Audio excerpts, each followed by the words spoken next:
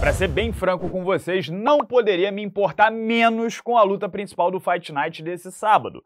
Estrelada pelo 13º no ranking dos pesos pesados, Jairzinho Rosenstruck, de 36 anos, vindo de três derrotas em quatro lutas, e pelo wrestler daguestanês radicado no Bahrein, Shamil Gaziev, 12-0, invicto, beleza, mas que tá chegando agora no UFC. E minha falta de expectativa foi justificada. Que luta medonha! Gradiev, como o André apelidou na transmissão, mal parava em pé do terceiro round em diante. Já Jairzinho foi a personificação do pé de breque, do roda presa. Tava em pânico de ser quedado. Passou 15 minutos jebeando e se afastando. Quatro rounds de muito pouco, quase nada. Tô pensando até em mover uma ação contra o tio Dana White, requisitando a devolução de 20 minutos da minha vida. Só como base de comparação, malhadinho que nem do wrestling é, botou o Jairzinho para baixo e pegou em 3 minutos. Aí o cara que nasceu na capital mundial do esporte converteu uma queda em 20 minutos.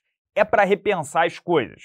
Sobre o resultado, o Jairzinho nocauteou no final. Agora, se na noite dos invictos Gradiev perdeu a invencibilidade, Mohamed Mokaev, Umar Nurmagomedov e Vitor Petrino mantiveram seus cartéis perfeitos e libados. Começando pelo brasileiro, 26 anos, agora 11-0 e a nossa maior promessa na divisão até 93 quilos. O Vitor é um armário, tem 1,91m de altura, que nem é tão vantajoso assim para a categoria, mas passa a impressão de estar tá com bem mais de 105 quilos dentro do octógono. O bicho é largo, parece uma cômoda. A diferença física dele pro Tyson Pedro era gritante. E olha que o Pedro não é pequeno para a categoria, é de médio para grande. O reflexo do que estou dizendo é muito simples. É difícil trocar força, parar a queda, quedá-lo então esquece. E tudo que o cara lança machuca. Os jabs balançavam feio o crânio do Tyson Pedro, que treina na City Kickboxing com Israel Adesanya, Carlos Hulberg e companhia. Olha só essa foto do Vitor ao lado do Malhadinho, a diferença de estrutura. Parece que o peso pesado é ele. Vi algumas críticas online no sentido dele ser meio tímido, faltar agressividade e tal. Mas vocês têm que entender que com essa massa muscular, se entrar a milhão com um pedal no chão, no melhor estilo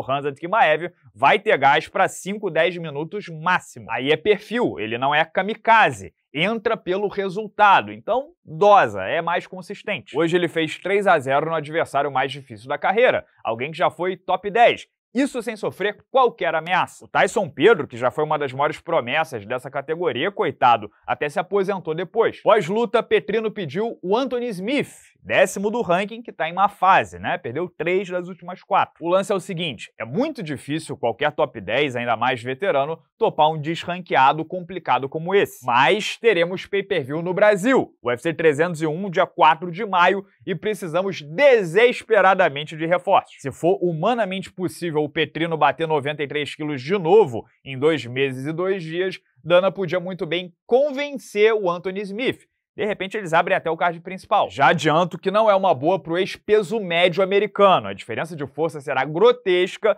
e ele, ganhando ou perdendo, terá uma noite de cão. Mas vai que o tio Dana bota o cheddar no pão. Já o peso mosca Mohamed Mokaev também venceu, mas não sei se convenceu, porque passou perrengue novamente. Lembrem-se, contra o Tim Elliott, ele perdia a luta por dois rounds a zero, até finalizar no terceiro, e contra o Jafiel Filho, por um fio de cabelo não foi finalizado. Ontem, contra o Alex O sétimo do ranking, que ainda por cima lutou muito pouco nos últimos anos, sofreu em pé e quase teve o pescoço laçado várias vezes. O outro lado da moeda é que o garoto de apenas 23 anos segue invicto, subindo de degrau em degrau, o grau de dificuldade está aumentando e o wrestling dele segue garantindo o resultado. O problema é que o UFC vai ter que fazer uma escolha dura hoje, agora, porque o campeão, Alexandre Pantoja, precisa de um desafiante para o dia 4 de maio. Esse é UFC no Rio de Janeiro. Bokaev deixou bem claro pós-luta que bate 57 quilos de novo em dois meses para abraçar a oportunidade. Vai ser ele ou Brandon Roival, que no final das contas não rompeu os ligamentos do joelho na luta contra o Moreno e também que é a vaga. E aí, faz Pantoja versus Roival pela terceira vez em dois anos, segunda vez em meses,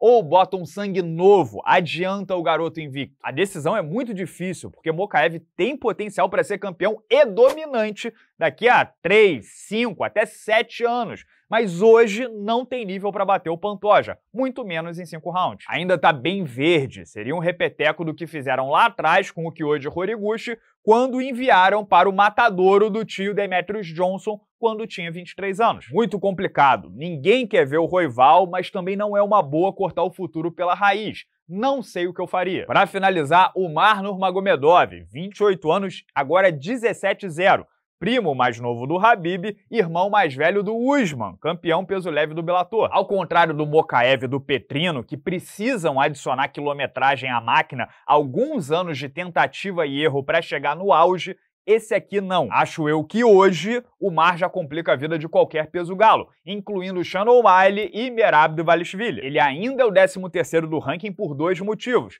Um, teve uma pá, uma porrada de lesões nos últimos dois anos.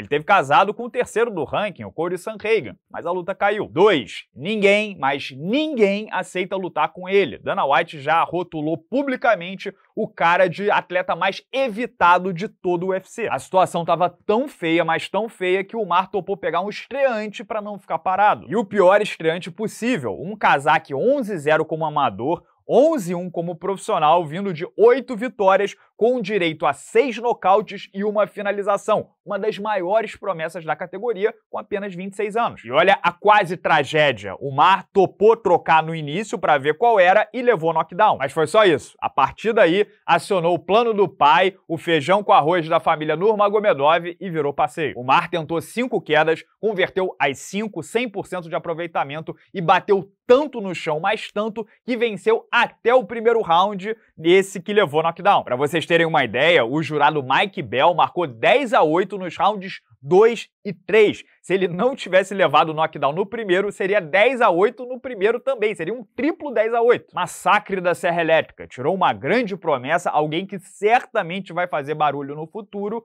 para completo pangaré. Depois reforçou o desafio para o Cody Sanhagen, que vem de três vitórias consecutivas. Vamos remarcar essa luta. Sinceramente, não tem para onde correr. Eu ainda casaria como luta principal de Fight Night, para ser cinco rounds e não deixar qualquer dúvida. Aí o vencedor vira desafiante número um e pega o sobrevivente do triângulo amoroso envolvendo Shannon O'Malley, Marlon Vera e Merab Dvalishvili. Papo sério, não sei se o Sanhagen ou qualquer um para as quedas e a pressão desse garoto é como se a gente estivesse vendo o Habib ou o Islam Makhachev subindo. Mas claro, esse é apenas o meu ponto de vista, os meus dois centavos, o que vocês acharam sobre essas lutas principais do Fight Night de ontem, envolvendo quatro invictos. Um agora ex-invicto, o Gradiev. Comentem livremente aqui embaixo no vídeo. Deixa o like aí, por favor, é a forma de você retribuir o nosso trabalho aqui no YouTube. Ah, e não perde a última resenha do canal, que foi sobre o erro fatal cometido no ato promocional por Kleber Bambam, onde ele errou feio na promoção da luta contra o Popó. Você clica no link aqui do lado e confere. E se liga também que vai ter resenha hoje à noite, no nosso horário normal, lá para 9 horas da noite, temos mais uma resenha domingão de rodada dupla, beleza? Grande abraço a todos, obrigado pela audiência de sempre e até amanhã.